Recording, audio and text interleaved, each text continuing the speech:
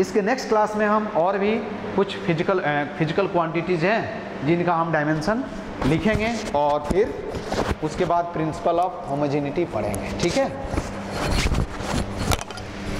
okay thank you